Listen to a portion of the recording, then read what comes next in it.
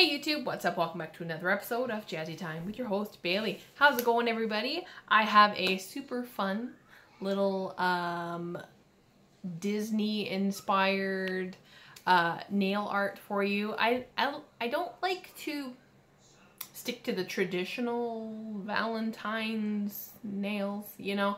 I like to switch it up because everybody can do hearts and every, you know. But um, I am going to recreate or redo, um, I've, I've never done it on me. I don't think I've ever done it on anybody.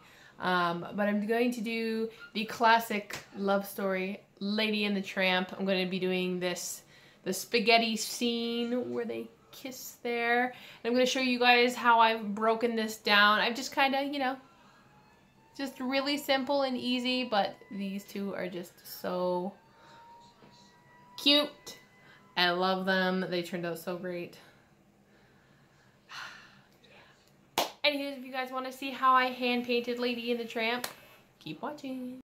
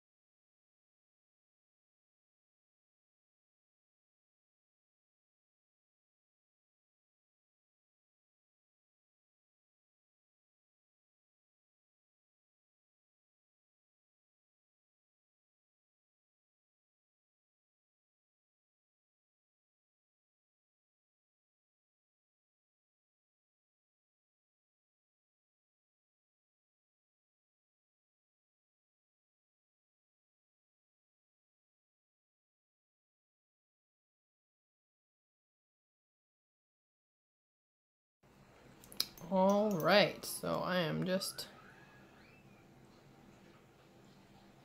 adding some cuticle oil.